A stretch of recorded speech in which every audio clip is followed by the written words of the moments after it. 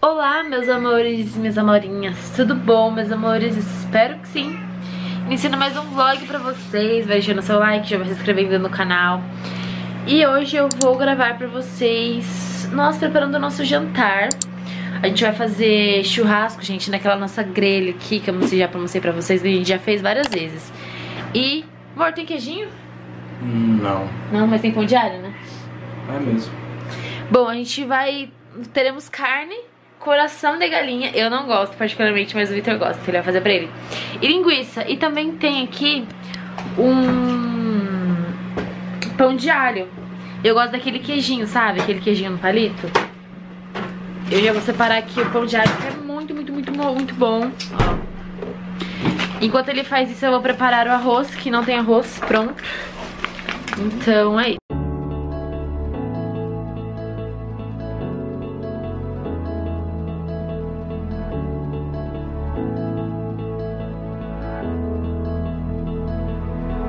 Without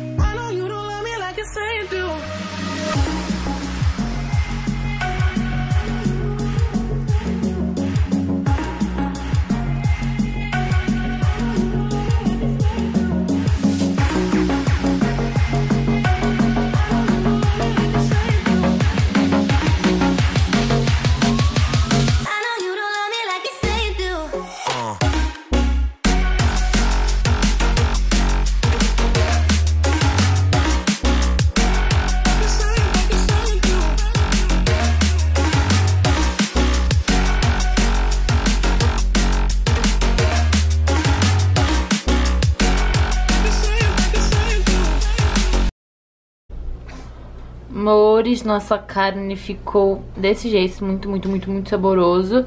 Aí a gente tá terminando de fazer o pão de alho aqui na grelha, né amor? Uhum. Aí já era. Falta só o pãozinho. E o arroz também já tá pronto, já. Meninas, agora nós vamos jantar, como vocês podem ver, a gente preparou aqui a mesa, a nossa carne, linguiça, aqui o nosso pão de alho, suco, farofinha, né, gente? Que churrasquinho tem que ter uma farofinha e bon appétit!